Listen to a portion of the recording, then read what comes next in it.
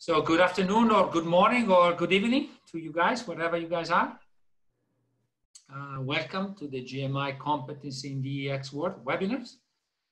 We have received some uh, question in the registration process. This question we will discuss a little bit later on. Let me take control for the presentation in the beginning. So, okay, it should work. All right, so before I start, let me take a few moments to introduce our speaker today. What happened here? Let's go back. Okay, here we are. To our speaker today, which is Bob Jones.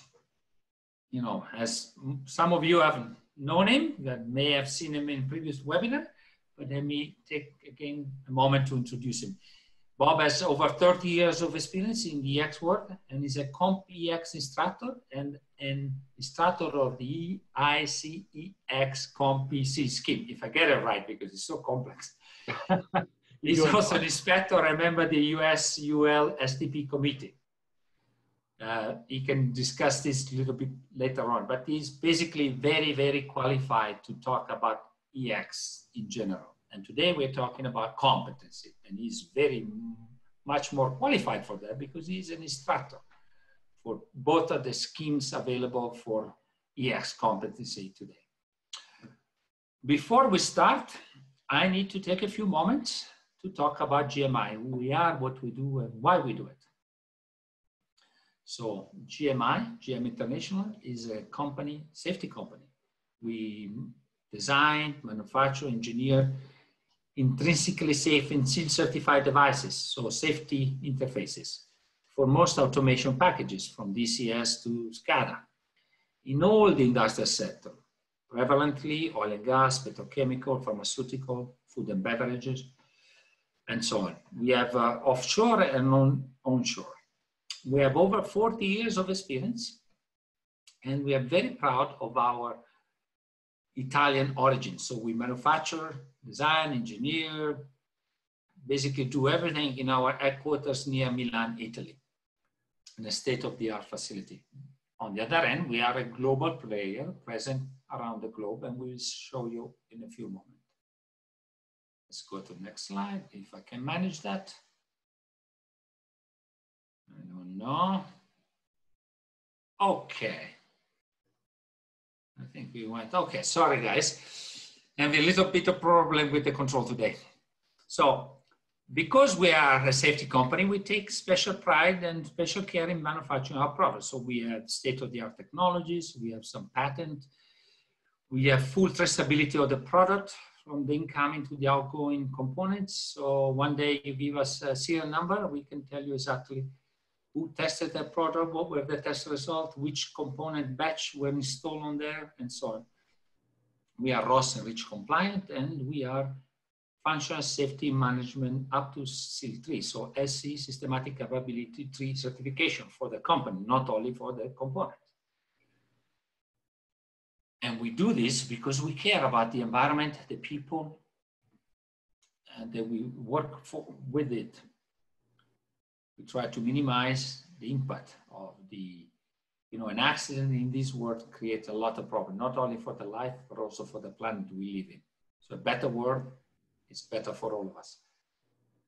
These are the products we manufacture from IS barrier to safety relays, isolators, power supply, which are SIL certified. One day you look up one of our webinars on power supply, why they are required to be SIL certified in safety application. Multiplexers, uh, termination board, for all the system out there. HART multiplexers, we have SPD or surge protection device. We have a line of loop indicators, and we have a division that takes care of training and services in the functional safety domain, along with Tino, Tino van der Capelle, our good partner and uh, safety, functional safety director.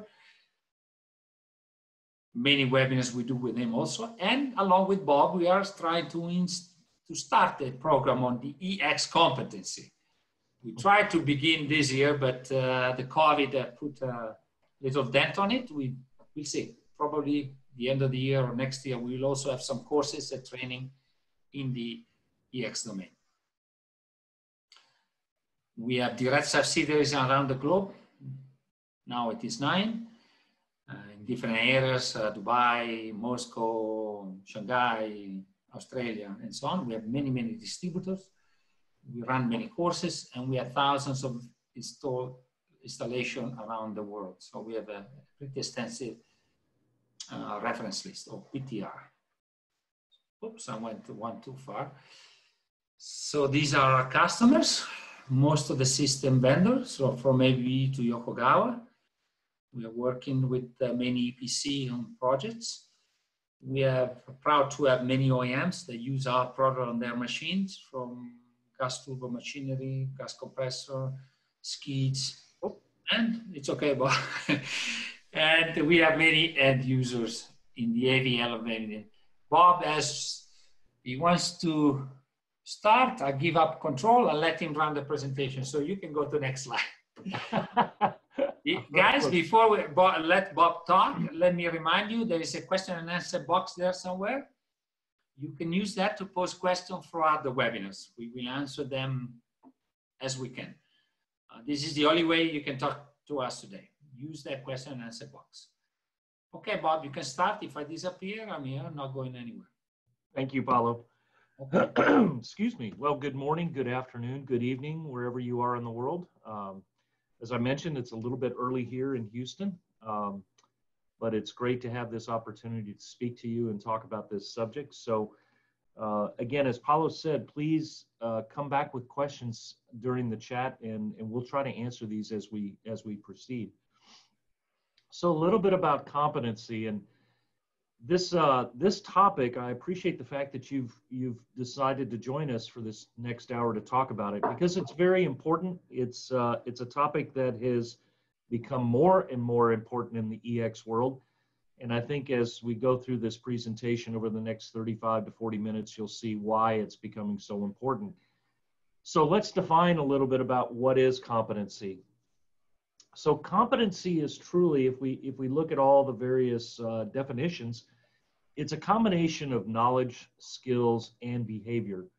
So when we think about the EX triangle, right, uh, when we talk about hazardous locations, we have to have that proper combination of fuel to air to a source of ignition. When we have all three legs of that triangle, then we have uh, an explosion, right? Well, competency is also a triangle. It's, it's a combination of the knowledge, what you've learned, what your experiences are. It could be formal training the skills that you've actually applied, so the practical application of it, and then are you able to execute it repetitively, doing it over and over and over again? So here's one of the things that competency is not. It doesn't necessarily mean that a person that has a lot of experience is necessarily competent. So, you know, as a good example, a, a residential electrician who wires new houses would not necessarily be competent to work on a drilling rig.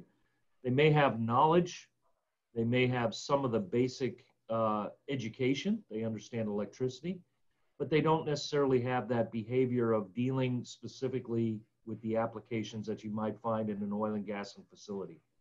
So every job position is different and they require different skills you know, a great example as well as um, I've been I've been watching on YouTube a lot of airline investigation accidents and all this good stuff, and talking about pilot error.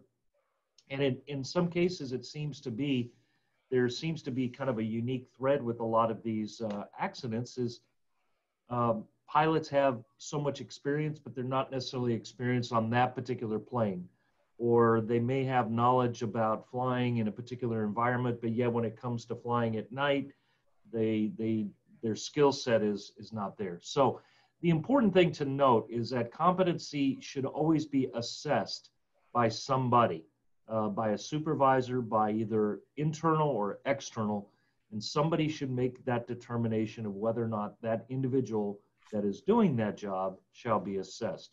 And that's kind of the important thing to remember as well. So, where did competency really start showing up with regards to the EX world?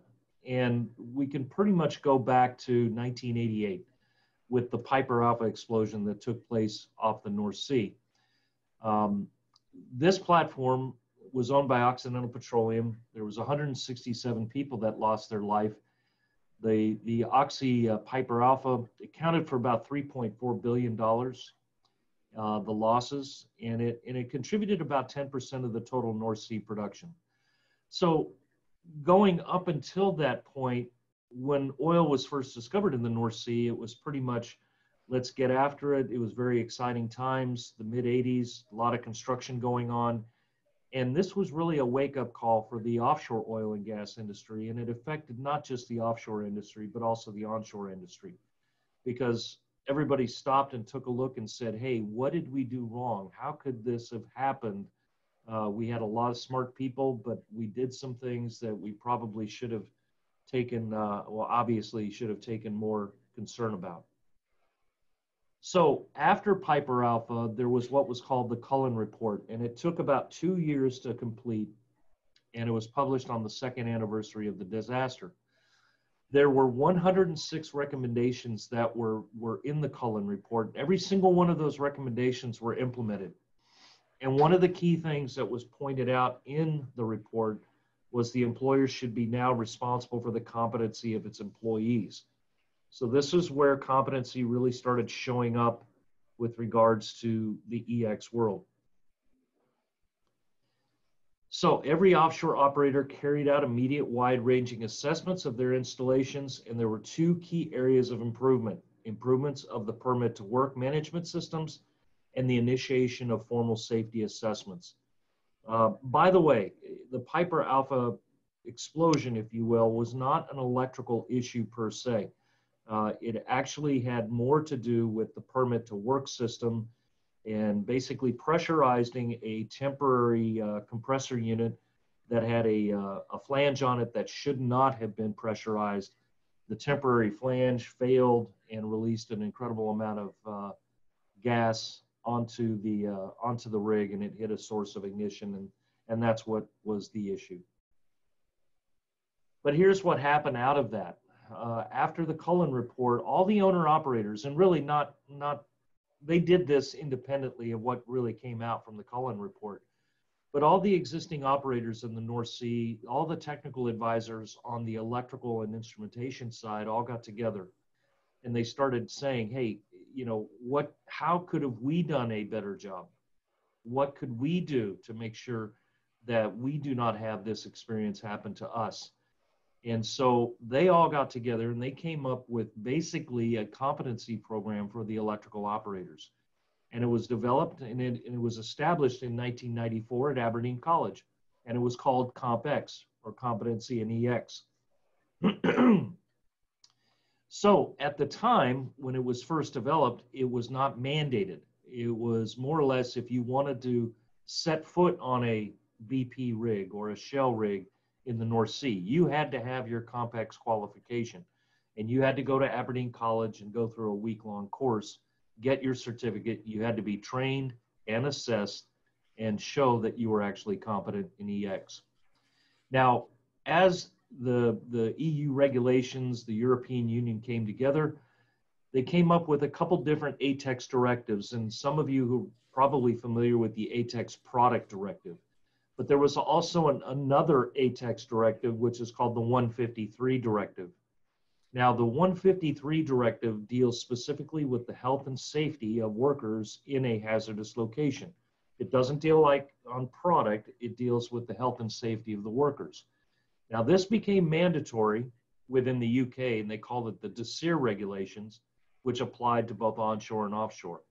What this basically meant is that before the directives. It was something that was really driven by the end user to say, hey, this is something that we insist upon. Now, under the directives, it was now being put, put part in each country within Europe, part of their regulations. And so, what basically transpired as soon as these directives came out, all of a sudden it gave the power for the regulators to go into a facility and say, hey, if somebody that you're putting in this plant doesn't know what they're doing, creates a situation where a potential explosive atmosphere turns into a deadly environment or, or something happens, you as the employer are now liable. And that really scared a lot of the owner operators. And they said, well, we need to get people through programs. And that's where Compex really started taking off. So the, the standards, if you will, somewhat followed what the industry was requiring. Uh, the, the main international standards that we follow with regards to electrical equipment for hazardous area are really located in the 60079 and the 80079 set of IEC standards. These standards are adopted in Europe as EN standards and then adopted by each country. So as an example, you'll see the, the original base document, the 60079-14 standard, which is an electrical installation design, selection, and erection standard is adopted in the UK and known as a BS EN 60079 standard. So what happens is that these standards, the dash 14, the dash 17, which deals with inspections and maintenance of EX equipment, and the dash 34 standard, which applies to manufacturers, these are just three examples of where competency is now showing up. And we're going to talk about that here in just a little bit. Now, just because a standard gets written, and a standard is a obviously a technical document that a lot of technical advisors come together, representatives from all over the world develop these IEC standards. Just because a standard gets published doesn't necessarily mean it has any regulatory impact. It really depends on who is the authority who has jurisdiction in that particular part of the world to where those standards really become a regulatory requirement. So as I mentioned, the HSC, or I didn't mention, but the HSC is the UK Health and Safety Executive. They are the ones that are the regulatory authority for every offshore or onshore oil and gas facility. So the HSC is the folks that will come into a facility and say, hey, uh, you're not following the standards, you're not doing everything right, we're going to give you fines, we're going to shut you down, we're going to do whatever it is in the United States, we have a couple different regulatory agencies. We have OSHA. Um, we also have the United States Coast Guard. We have BSEE. Uh, the U.S. Coast Guard has now really just recently started to adopt some of these competency requirements as they've adopted some of the IEC standards specifically for the offshore market. And you have other regulatory agencies like NOPSEMA in Australia that all define and recognize competency. The important thing to note really with this is there's a lot of regulatory agencies out there in the world that do require it, but in many cases where these competency requirements are really driven from are from the end users themselves. They are putting this in their specifications as part of their technical packages. So if you're a skid builder or if you're an, a contractor that's doing work for some of these large major oil and gas companies, it's very likely that you will start seeing competency show up in a lot of their specifications. Now, this is brand new. This actually just came out earlier this month. that I mentioned that the U.S. Coast Guard is one of the regulators here in the United States, and they have basically come out with this, what is called a marine safety alert. And more or less, what has happened is that the Coast Guard has done a significant amount of inspections of EX equipment around the LNG fueled ship industry. And we've done a lot of training with a lot of the Coast Guard inspectors. And we've assisted them to try to figure out exactly what they're looking at. And they are determining that there's a significant amount of electrical equipment that's being installed and used that is not appropriate. And they've had some issues. So now they are specifically coming out to the owner operators and saying, look, you need to comply with these competency requirements that are spelled out in the dash 14, the dash 17, and the dash 19 standard. The dash 19 standard deals specifically with repair and overhaul of EX equipment. And again, it states that it should be done by competent people. So so we have a poll. So it seems like competency is, you know, coming up everywhere nowadays. It's uh, becoming a requirement by many standards. So we are want to make sure you are listening to us. So I launch a poll here. So there's a question, what standard, what standards include defined specific level of competence? So you guys can answer this. There is no, you know, no judging. See if you can answer uh, some of these uh, questions. Okay, guys. Is it uh, multiple choice or a single choice? Uh, it is. It is. There's multiple choice. It's not necessarily one answer. It's not necessarily one answer. So you guys, you know, if you don't know what to do, just click them all. uh, uh, no, it, uh, honestly, you know, COVID is becoming a serious issue in all the aspects. And it makes sense, Bob. Yes. It's like you want to go to a dentist, you have a problem with your teeth, you don't choose, a, I don't know, a veterinary or a you want no. somebody who has a, is a dentist, so he's competent and he's proven to you. He's got a big plaque on the wall, says he has a diploma, whatever, you know. Right. That is competent. Of course you also have to that's not sufficient. You want maybe to ask some friends or whatever but that is true. a good start I mean, it's a good start. You want to have that it, but uh, you don't expect this in our world sometimes you know. You have people that uh, you know they come to training they they just have zero competency and they pretend you know to do a job right like selecting a product or writing a specification the consequences could be disastrous. Absolutely. Okay, okay time dismiss. Okay, guys, I think we talk enough. Let's end the poll. See what are the result.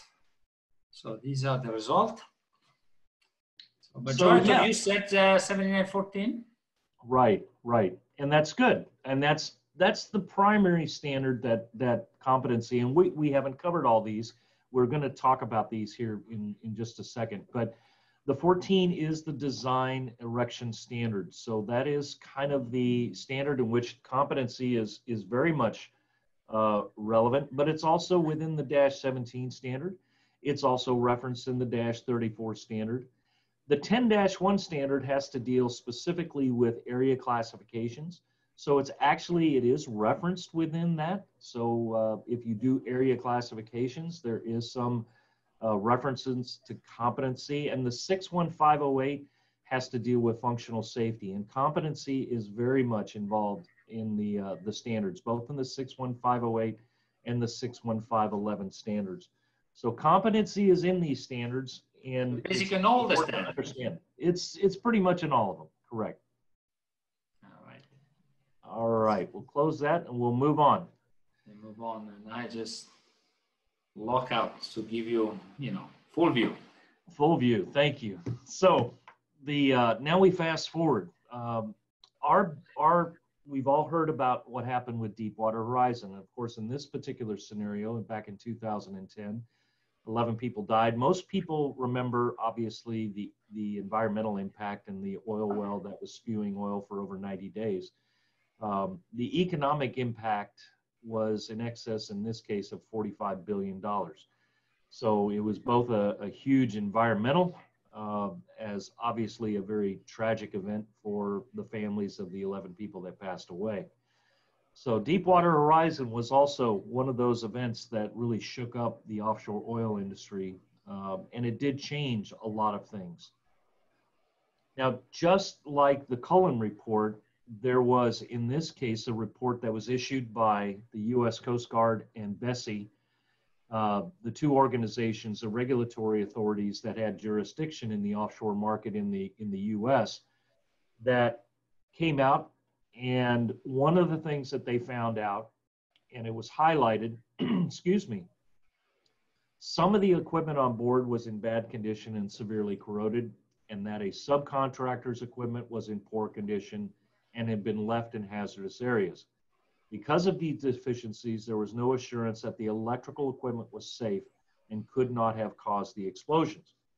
Now, this, if you've seen the movie, and the movie is a phenomenal movie, if you haven't seen it, it's worth watching. The, the initial thought process and, and what, what showed in the movie was that the, the release, when the BOP failed, the gas accumulated all over the rig and it was drawn in by the intake uh, into the engines, which oversped, which eventually led to the initial explosions. But in reality, what was actually the original belief, but it was never finally finally determined, but it was thought that the actual initial explosion took place on the rig floor. And the only equipment that was actually on the rig floor was electrical equipment. So that's why they put this in there that they said, hey, this very well could have been an EX electrical equipment issue that was the initial source of an explosion, but then obviously cascaded. So it was it was obviously a, a very sobering event for everybody, and um, and again, it changed the industry certainly here in the United States, and it had repercussions all over the world. So here's the important thing with this. A lot of people think that if I just get a product that's certified, then I'm okay, right? But that's not really the case. Certification is important, but it's not the whole picture because it does rely on three things. It relies on the selection for the designed environment. It is it it relies upon the installation practice. Have we installed it properly? and then have we maintained it in good working order? Now, those pictures of what you see there, those two pictures on the left hand side, those two photos are actually from equipment that were located in a zone one area. The picture on your left is actually a, an EX motor that was operational in a zone one area. The picture in the middle was of a bell that was operational in a zone one area. The picture on the right was actually from a land rig uh, in a zone two area.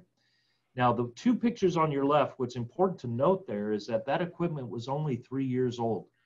So, as you can imagine, putting equipment into an EX area and not maintaining it, not keeping on top of it, then it really doesn't help over the fact that if we could have a certified product that might have been perfectly fine when we did the initial installation, but if we haven't maintained it, then again, issues can arrive. So a lot of people think that this is really only operational people that we have to worry about. It's the folks that are actually doing the installation and maintenance. But that's actually not the case. So this was a, a report that came out from the HSC uh, quite a few years ago. Now this really dealt specifically with control systems, not necessarily with EX, but it's very indicative of where we see the root causes of industrial accidents. And so when we look at that pie chart, if we notice the biggest majority of the root causes actually come from the specification side of things. That means that somebody in an office somewhere uh, did either area classification incorrectly, or maybe they selected the inappropriate product, or it was classified as zone two or zone one, but yet they applied zone two products into it. It could have been all of those different kinds of things. So the important thing is is realize that anywhere in this chain, it could be specifications, it could be changes after commissioning, that could be drilling a hole into an EX piece of equipment or doing some modifications. So there's a lot of different things that go into that we really need to look at when we talk about competency. So as, as Paulo mentioned, we do inspections. We go into clients and we'll actually go and do their EX inspections on the behalf of the client. They may wish to have us come in, take a look before the regulatory agencies come in or before a client may be coming in. So we'll come in and do a do an EX inspection on their skids and packages. And what we have found is generally somewhere between 20 and 45 percent failure rate with regards to there's an issue. Now, not all of these are necessarily issues that will cause an explosion, right? Um, for example, if you have a product that doesn't have an appropriate label on it, okay, is that necessarily a, a real critical issue? No. However, if we have, a, like, for example, on the right hand side, we have a gas detection panel that very clearly states it's suitable for a non hazardous area but yet it's installed in a zone two hazardous area, well, that's a critical issue, right? That's not a product issue, that's a application issue. It should have never been applied in that. Now that's the root cause from that could be the specification, It could have come from um, any number of things, but somebody should have caught that within the chain before this actually got installed. But again, the root cause, the lack of training, knowledge, and competency. So Bob, you're saying, sorry, go back one slide here. Yeah, I'll launch the poll in a second. Let's go back one slide. I want to ask you a question. So you said out of your inspection, you find 20 to 45% of the time you find issues with the. Yes. Wow. That's a lot. There's definitely miss people are, you know, competency is a big issue. It's, I, you I cannot install a panel that is for non-hazard location, hazard location. Right. You must be incompetent because otherwise you are a delinquent. You know, you're doing something on purpose. So, well, and and there's there's different things to look at when you're going through and if you go through the dash 17 standard there are inspection tables that we use that we go through and and we use that as the basis to determine whether or not this equipment is either appropriate. And it could be anything from the T codes. It could be from the environmental ambient. It could be from a specification requirement of uh, must be for a high ambient or Maybe the gas group is incorrect, or maybe it's the wrong protection concept. There's a whole slew of different things. Um, or it could be an installation procedure. Cable glands are not installed properly, or the improper uh, selection of cable glands. All of these are potential issues. And again, some of them are critical, and some of them are minor and that you know are not necessarily safety critical issues but they're certainly important. Well you show that uh, motor ex motor uh, pretty rusted out. I mean i'm sure that is no longer able to hold an explosion in there you know. Yeah how can yeah, that motor do his job? That the what we have the problem is that um, chances are very little that inside a motor you have an, a, a spark or an arc and then you have a gas presence outside. So the likelihood of happening is so small that typically it does not happen. But there you have like, it's like a bomb ticking, you know. Okay, right. so guys, let's see if you've been listening to us. We launched a new poll. It's uh, easy because we just gave you an answer. What is the leading root cause of industrial accidents?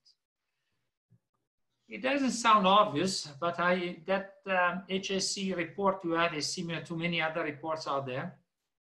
Uh, the, the, numbers are very consistent. You have a lot of problem in the beginning, and I give it away to you. and uh, give a few moments for you guys to, uh, to answer. Uh, as I said, we're not voting or judging anybody. You know, get it right, get it wrong, doesn't matter.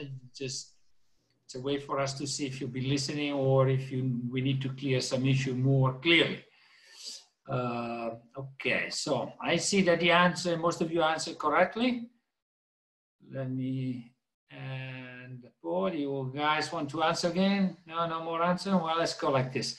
And the poll. So, a few of you have answered, have answered correctly. Specification is the main cause of issues. Root cause, right? Yep, yep. Yeah, specifications is somewhat the root cause of what we typically find. I mean, but again, all of those are issues. So all, all cause issues, yes. Specification, we, you know, we find this uh, very often in our uh, as a manufacturer of safety components. You know, we demand to have good specification to select the right proper product for the application for the safety function, for example, you know, the safety relay, what you're trying to do. If right. you say I want a SIL relay, it's not sufficient information to give you the right product. But very rarely, and with Tino, our functional safety expert, we have a webinar. We I think we already run a webinar on how to write SRS safety requirement specification, you know, because it's important. Often you don't see them correct. Okay, you you continue, Bob. All right, so we'll we'll get into the standards and we'll talk a little bit more about the training and assessment program. So again, I mentioned Dash 14 is is one of those critical standards. So where do you find the information of what defines competency? So it's in Annex A of the Dash 14 standard. It tells you the scope, knowledge, and skills, and it defines basically three main roles. Responsible persons, these could be the project managers, project engineers, the operator technicians, these are the people that are doing the installation, uh, potentially could be selecting products, and then ultimately the designers as well. So these are the folks that are designing the systems. So we define what their roles are, And then we also define what the specific competencies are required by those particular roles. And then finally, there's an assessment portion of it, right? So it shall be verified and attributable or attributed at intervals relevant to national regulations that the person has the skill, can act competently, and has the relevant knowledge and understanding. So it, it's not very long. It's actually only about two, three pages long, but it, it more or less tells specifically what we expect of individuals that are operating in the EX world, what knowledge, skills, and levels of competency, and it defines it. Now, competency also, as I mentioned, it, it does show up in other standards, IEC standards. The Dash 25 standard is the standard for intrinsically safe electrical systems. And I bring this up because obviously GMI, a manufacturer of intrinsically safe equipment, uh, I know is running a lot with people that are selecting IS. Well, guess what? There's a requirement within the Dash 25 standard that says that the person who develops what is called that descriptive system document has the necessary competence to fulfill the task. That DSD is more or less your loop diagram. That's a requirement for every intrinsically safe circuit, which includes the entity parameters and lists the components, including the cable of an IS circuit. And, and this DSD, quite honestly, as I mentioned during our presentation or webinar, on six common mistakes that we find on IS, the lack of a DSD is one of the first things that I see. Is that generally speaking, when I ask for a copy of the DSD uh, to do a, an inspection, usually I get a, a blank stare from the owner operator. So a lot of times uh, these don't exist. So, but this is a requirement. Now, as a manufacturer, the Dash 34 standard, this standard is actually a bolt-on to your ISO 9001. So if we have any manufacturers out there listening today, this competency requirement just came into play in the second edition that was published in 2018. And it's now defining competency for all the individuals that work for that company. And there shall be a way to make sure that those individuals are competent. Now, here's the important thing to remember. It doesn't say these competency requirements and these things that you find in these standards, it doesn't necessarily mean that you have to go to an outside entity to gain your uh, assessments, if you will. These can be done internally, it can be done in house, so to speak. But just realize that if you're ever audited or somebody asks questions, there should be documentation, there should be evidence that somebody has actually gone through and been deemed uh, competent. There is a new technical specification that's actually going to be published in May of next year. Because competency is showing up in so many different IEC standards, there's actually going to be a technical specification that will bring this all together. So it will take the relevant competency details as noted in 14, 17, 19, and others and put into a single format as a recommendation to follow. So this will be interesting to see once it gets published. Uh, and again, once a standard gets or technical specification gets published, it's up to the regulators to make this a determination of whether or not they're going to make this mandatory. So the two main world programs that, that have competency programs, um, a lot of questions on the two different ones. And there are more than just these, but these are the two that most people are familiar with. I mentioned a little bit about CompEx and where it started off, but the IECEx also has a competency program. And I'm an instructor for both programs, an assessor. So I can speak and tell you honestly, good, bad, and different about both of them. So the CompEx program, as I mentioned, it started in 1994. There are 14 knowledge assessment units. Some of the modules are specifically designed for operatives. Some of the modules are designed specifically for the designers, and some and one particular module is really meant for the responsible person. So these these training assessment programs under CompEx follow the requirements that are spelled out specifically in 14, 17, um, and actually 19 as well, and the 80079 standards for mechanical equipment. So there's, again, you pick and choose the particular modules that applies to you. The most common is the 01 through 04 program, which is a four and a half to five day uh, combination of classroom and practical hands-on. So what you see over on your right-hand side, that's a picture of typical CompEx bays. These are bays that we have at our facility that we put students through and they have to do installations and inspections. There's an EX12 course that is strictly a classroom and that's specifically for designers and engineers and that's a five day course. So the CompEx courses basically are really set for uh, a handful of days all the way to a full week. So they're, they're pretty involved. There are 52 centers throughout the world. Um, most of them are located in the UK, but there are some centers in various parts of the world. The scheme is owned by an organization out of the UK called JT Limited. All of the training assessment are run by third party organizations, but they're audited by JTL, and JTL determines the course content to, deliver, to be delivered by a third party. Now, one of the big benefits I would say about CompEx is that the course content, because it's basically in effect vetted by JTL, is very similar to every CompEx center that you go to. So there's a very much a consistency between the centers as to what they actually have to teach and assess you upon. Now, under the IECEx Certificate of Personnel Competency Program, this, this program has been around for probably about 12 years or so now. And this has to deal with, uh, just like IECEx certified product, there is now a certificate for people. And there are 11 modules broken down into the 000 all the way up to the 010. 010. Now, the ones that are highlighted in blue there, the 001, that's a fundamentals course that you pretty much have to go through in order to take other modules. The 009 is the one that's really meant specifically for designers. So that those two would be somewhat equivalent to what is called the CompEx 12 for the designers. So if you were a designer, you would probably go through the 001 and then follow that up with an 009. Now this the way this is set up, again, it's somewhat pick and choose. You don't necessarily have to take all the modules. You don't have to take them all at the same time.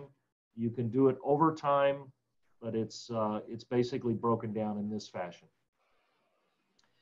Now, there are IECEx certifying bodies for product, but there are also certifying bodies that offer the CoPC scheme.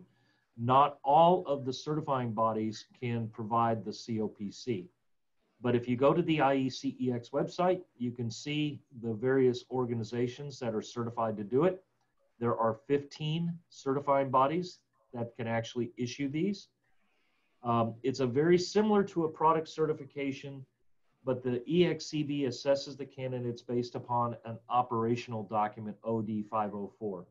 So if you really want to find out more about the IECEx CoPC scheme, you can go to the website there's a lot of documents, but that OD 504 will give you a lot of information on the CoPC scheme. Now, there's also what is called a recognized training provider. So we are considered to be an IECEx recognized training provider. There are 32 of us around the world. Uh, we've been vetted by the IECEx to deliver the content around the IECEx scheme. Now, here's the important thing the candidates are not mandated to be trained by a training provider. So if you're sitting there and you say, well, wait a minute, I've got to contact one of these 32 recognized training providers, you actually do not. You can just contact an ExCB and say, I want to be assessed. Okay. But a lot of people do want to get the training ahead of time before you go and get yourself assessed.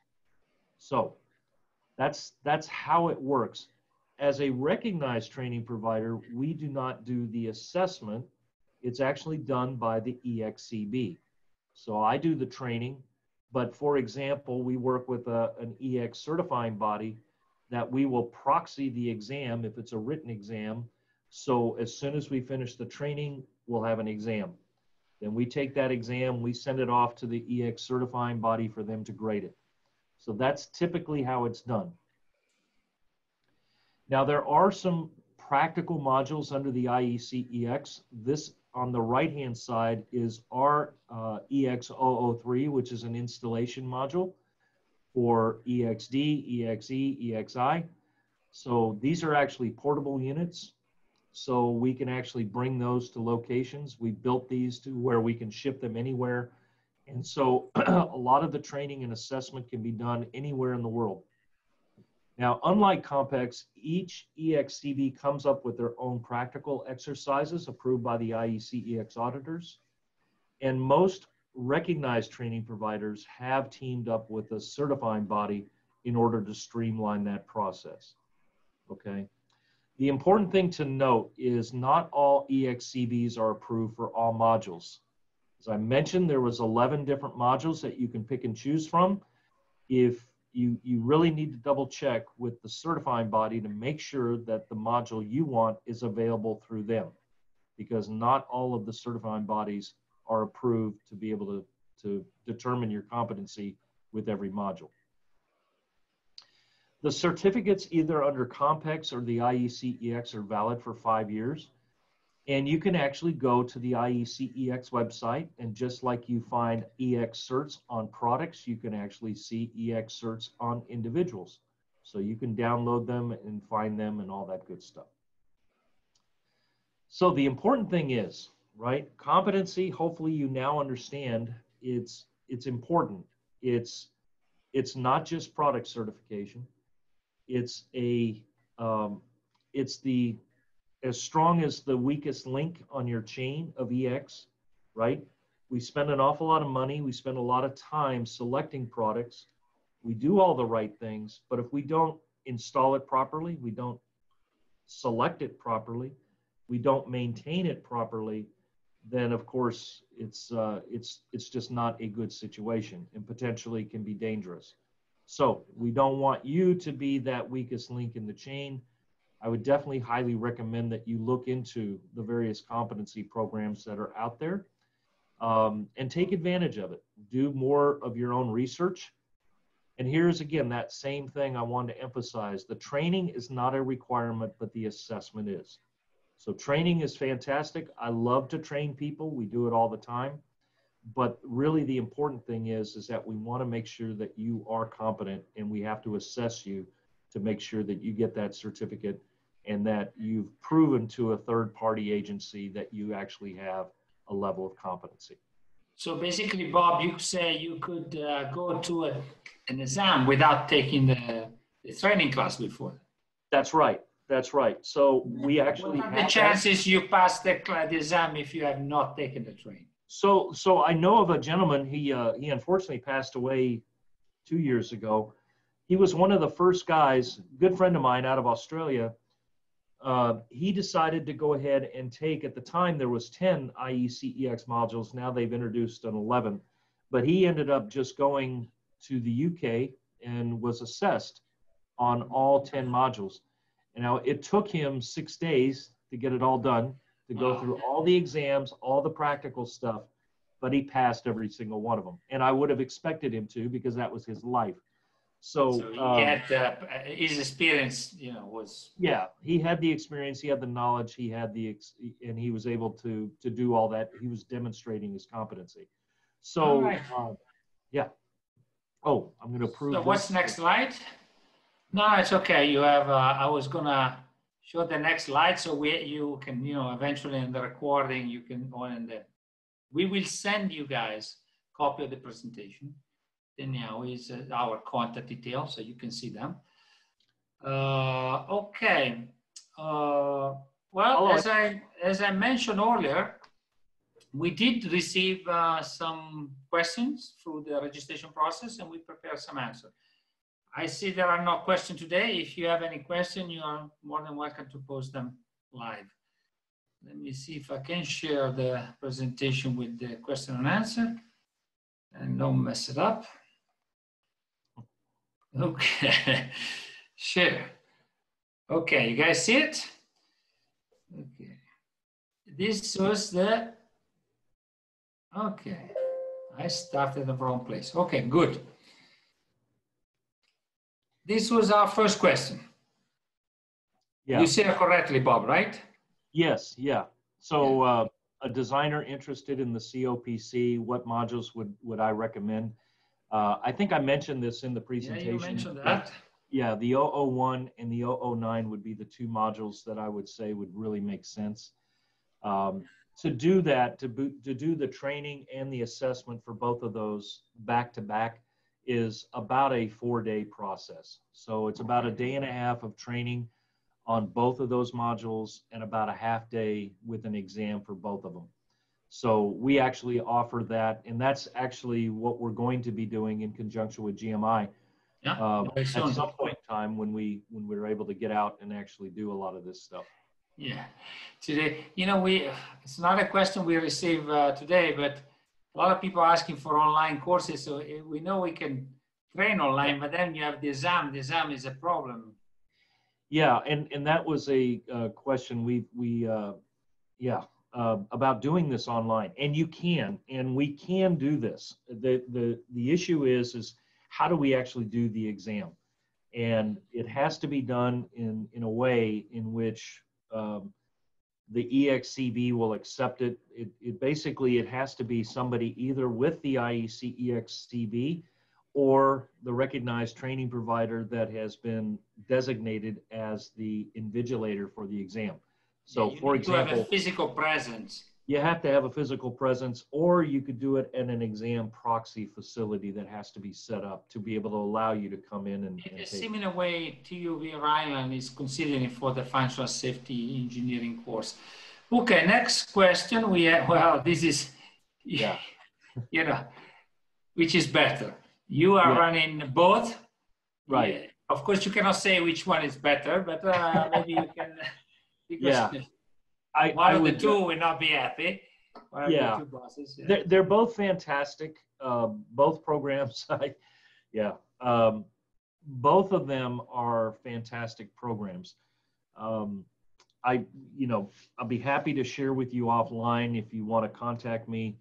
To, I can tell you some of the specific good, bad, and different. Um, I think the one thing that I mentioned about CompEx, there is a great consistency amongst CompEx, regardless of the center you go through under the IECEx, there's a lot more variation. Um, we're given a lot more free reign as far as what we actually teach in the CoPC course as opposed to the CompEx. So we actually, I write the course materials for the CoPC scheme, but I also know what the student is going to be assessed against.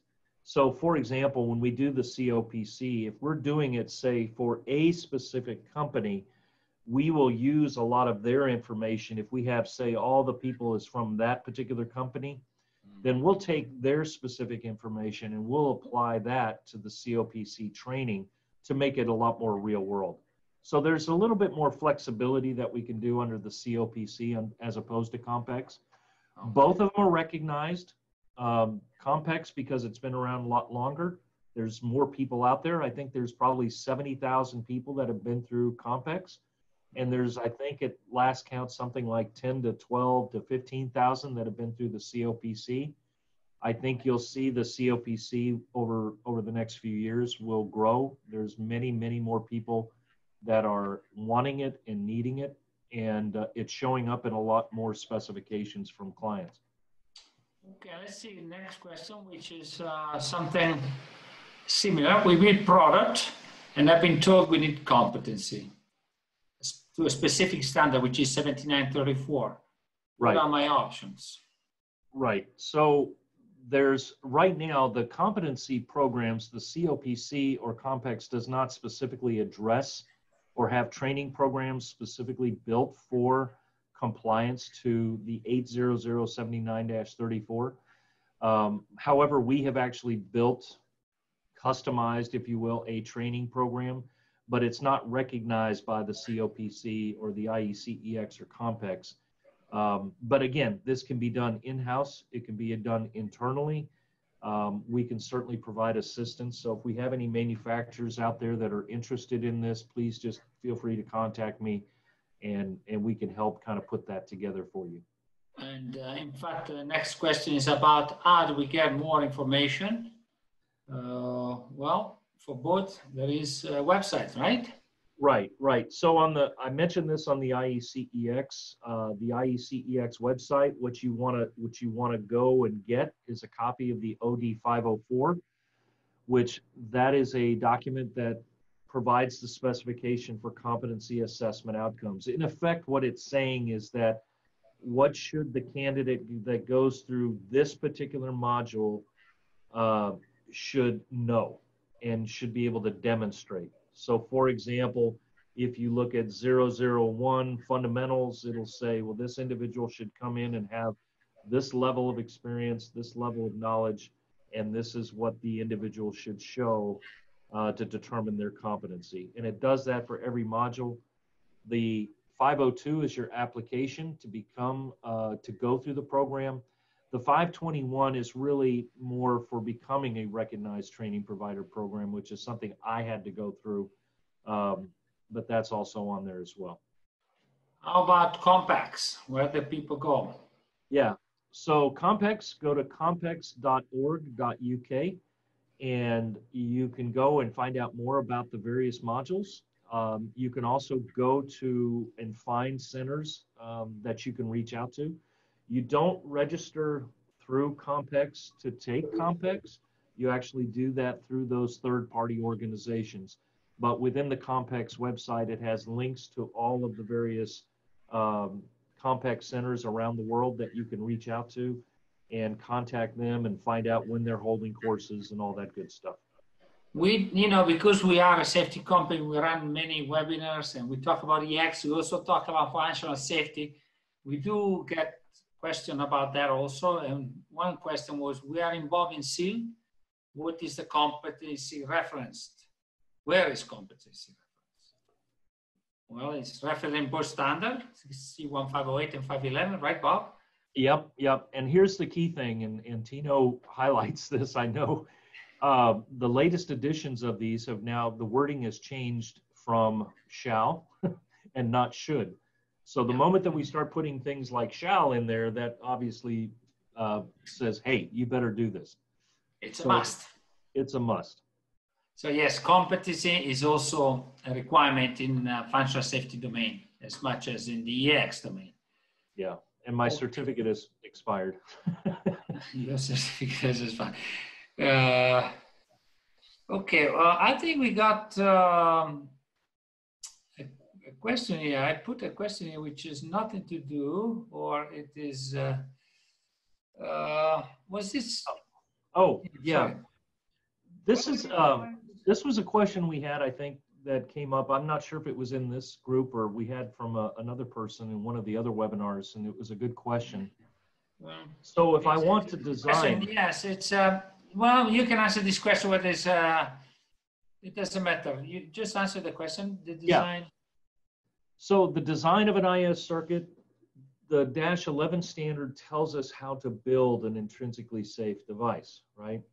But how to build a IS relay or an IS associated apparatus like a barrier or power supply is not really part of the training program and assessment program either under CompEx or the CoPC.